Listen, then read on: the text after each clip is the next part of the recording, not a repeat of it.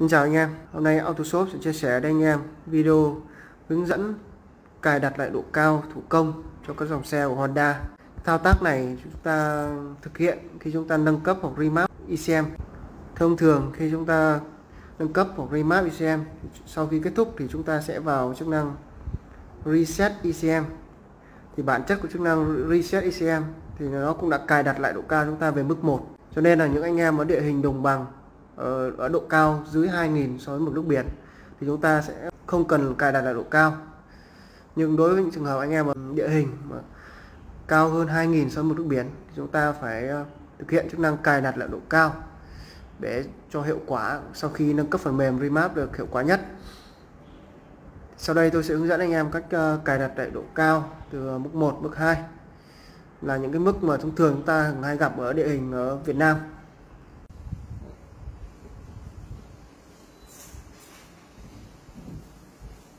Vâng, để thực hiện cái thao tác uh, cài đặt lại độ cao thủ công, anh em chỉ cần uh, chuẩn bị cho tôi một cái uh, dây điện như này, có hai đầu.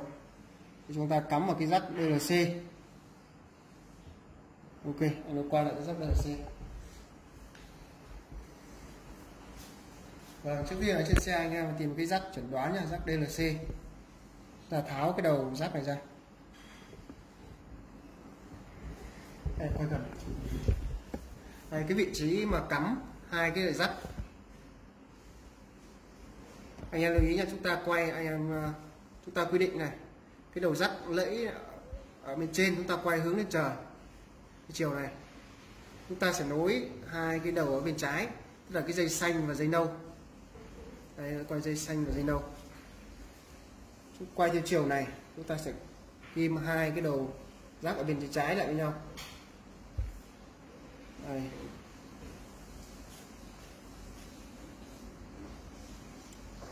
Cắm lại ok, nó quay lên tắt luôn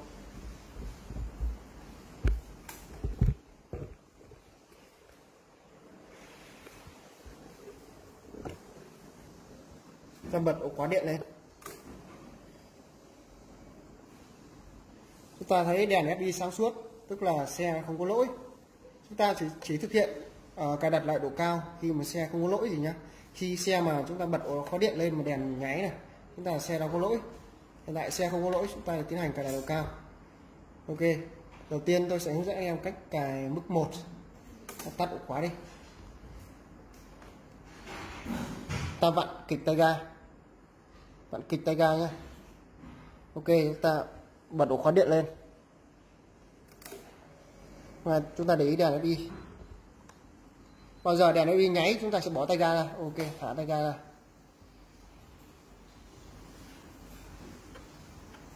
Đèn đi nháy một lần. Đấy đấy chính là độ cao mức 1 dưới 2.000 so với mực nước biển. Đấy, ok.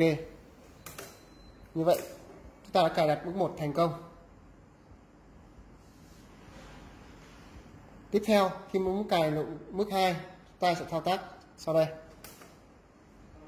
Chúng ta cũng vặn kịch tay ga, chúng ta sẽ thao tác hai lần. Đây các em theo dõi đây. Vặn kịch tay ga. Bật ổ khóa điện. Đợi đèn nháy. Đợi đèn đi nháy. Ta thả ra. Hai lần. Kia anh để ý đèn nó bi nháy hai lần. Chứng tỏ đây độ cao đang ở mức 2 tương tự, khi chúng ta cài đặt độ cao với mức 3 hoặc mức 4 chúng ta thao tác tương tự. Đây, chúng ta không thông thường, chúng ta không bao giờ ở Việt Nam, chúng ta không cài mức độ 3 4 thì sẽ rất ít khi chúng ta cài mức 3 4 để chúng ta hướng dẫn anh em cách cài độ cao mức 1 và mức 2 Ok, cảm ơn anh em đã theo dõi video. Xin chào và hẹn gặp lại.